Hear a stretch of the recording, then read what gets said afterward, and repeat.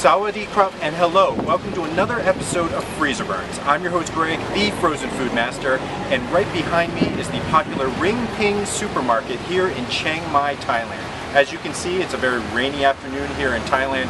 We're going to go inside, take a look at what a freezer aisle in a Thailand supermarket looks like, and maybe even find a product to review. It's all coming up in this episode of Freezer Burns. If you spend some time on freezer burns, then you might stave off the. Greg's the frozen food master. He's best bud to your taste buds.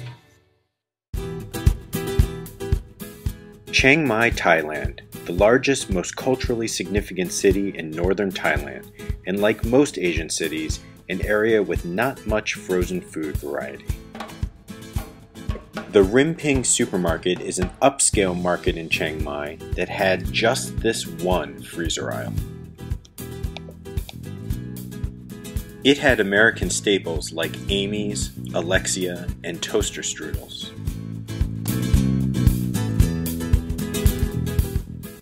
But it also had its unique items playing up to the local Thai audience. Things like sushi ingredients, mutton meals, and the head scratcher of the day, tuna pizza?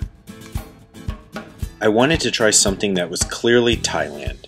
I think I found the perfect item. Okay, so we are now under shelter because it started to pick up on rain, and I purchased from the Rimping supermarket this, which I believe is ice cream. I don't know for sure, but it was in an aisle that looked like ice cream. The reason why I'm not sure is because it is all written in Thai.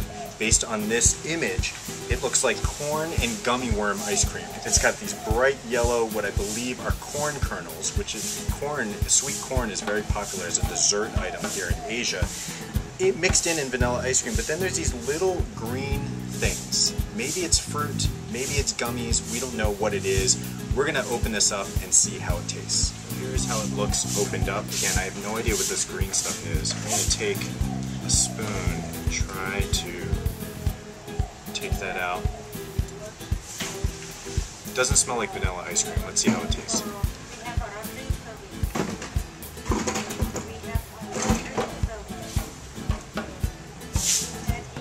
It is not a very sweet ice cream at all. Um, interesting consistency. I definitely taste some coconut in it. Um, it's it's not vanilla, or if it is vanilla, it's a very like very little vanilla bean type flavor. It definitely is corn, but I still don't know what the green is. We're gonna try to find someone that can speak Thai and tell us what that is. This was 60 baht for this whole tub, which is approximately two US dollars. This is again is what it looks like. Okay, so this is the ice cream that I still don't know the name of because it's still in Thai. However, we were we asked around and found out that this green stuff is actually a local Thai melon, much like a honeydew. So this is corn and honeydew ice cream. It's made by a company from Unilever. Again, it's 60 baht, which is roughly $2 US. I think that it's a very um, subtle taste by American standards, by Asian standards. It's actually a very sweet dessert, very creamy, interesting packaging, very inexpensive. I give this probably a four or three and a half out of five star. As always, I'm your host Greg, the Frozen Food Master. This has been another review of Freezer Burns here from Chiang Mai, Thailand, and I'll see you next time.